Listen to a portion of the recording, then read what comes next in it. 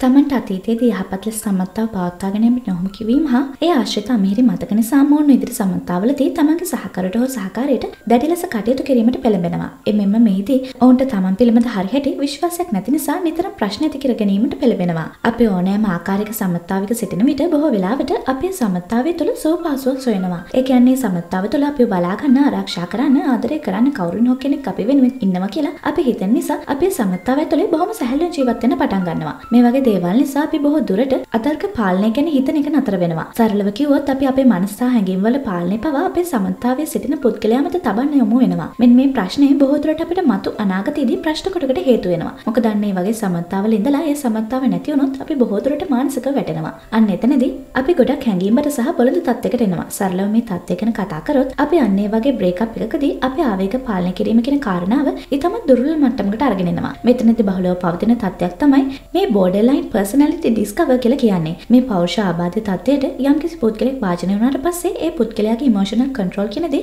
ඉතාමත් අඩුයි. ඒ කියන්නේ සරලව මේ ආගේ හැඟීම් ඒ ආගේ පාලනයකින් තොරව ඒ අවස්ථාවලට අනුව ඉතාම ප්‍රබල සහ දරුණු විදියට වෙනස් වෙනවා. මේක බොහොම නරක සහ අනතුරුදායක දෙයක් වෙනවා. මේ BPD තත්ත්වයෙන් පීඩා විඳින ඕනම කෙනෙක් තුළ අපිට මෙන්න මේ විදිහේ සිම්ප්ටම්ස් එහෙම නැත්නම් ලක්ෂණ කීපයක් දකින්න පුළුවන්. නිතර නිතර මූඩ් ස්විංග්ස් ඇතිවීම සහ ඉමෝෂනල් රෙගියුලේෂන් අතින් බොහෝ සෙයින් දුර්වලවීම.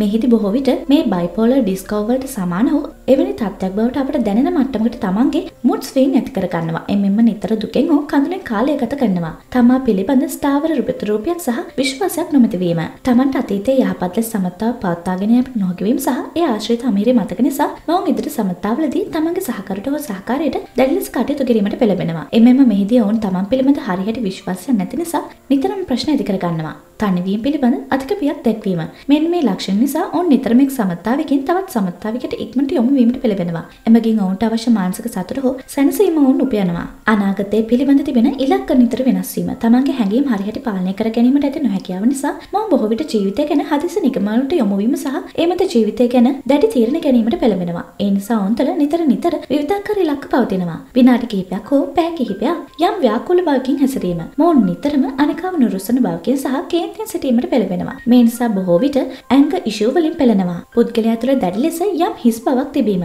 මෙන්න මේ හිස් බව පුරවා ගැනීමට ඔවුන් ඩේන්ජරස් බිහේවියර්ස් වලට යොමු වීම සිදු කරනවා. එනම් ඇතැම් අවස්ථාවන්දී සීමාවන් නොමැතිව මුදල් වියදම් කිරීම, unsafe sex, substance misuse හෝ careless driving වැනි දේවල් වලට යොමු වෙනවා. එමගින් ඔවුන් ස්වයං හානි කර ගැනීම වලට නිතර පෙළඹීමක් දකින්න ලැබෙනවා. මෙන්න මේ වගේ symptoms මේ BPD තත්ත්වයේදී ඕනම කෙනෙක්ට ඇති වෙනවා. මේ සඳහන් කළ ආකාරයෙන් ඔවුන්ට තිබෙන symptoms ඒ වගේම severity එක ඇතිවන වාර ගණන් වගේ දේවල් පුද්ගලයන්ව වෙනස් වෙනවා. මේ BPD වලින් පෙළෙන අයට එදිනෙදා තමන්ගේ ජීවිතය තුළ විවිධ විවිධ ගැටලු ඇති වෙනවා. මානසික පීඩනයන් ඇති වෙනවා. ඒ වගේම මේ අය මෙන්න මේ වගේ හැසිරීම නිසා ඔවුන්ගේ සමීපත්වයන්ට විවිධ ශාරීරික සහ මානසික ගැටලු ඇති වෙනවා. BPD තියෙන කෙනෙක්ට තමන් තුළ ඇතිවන සිම්ප්ටම්ස් වලින් පාලනය කරගෙන හොඳ ජීවිතයක් ගත කරන්න ලේසියෙන්ම පුළුවන්. හැබැයි ඊට අදාළ නිසි ක්‍රියාමාර්ගවලට යොමු වීම නම් ඔවුන් අනිවාර්යයෙන්ම කරන්න ඕනේ. මේ සඳහා ඔවුන්ට ප්‍රතිකාර වශයෙන් මෙඩිටේෂන්, ෆිසියෝതെරපි සඳහා යොමු වෙන්නට පුළුවන්.